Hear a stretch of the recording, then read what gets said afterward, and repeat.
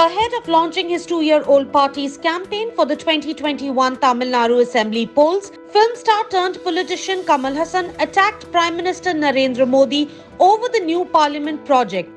The veteran actor and founder of Makkal Needhi Maiam on Sunday asked what is the point of such financial indulgence at a time when the country's economy is facing severe turbulence in the COVID times. PM Modi on 10th of December laid the foundation of the new parliament building which is set to be the centerpiece of the rupees 20,000 crore project.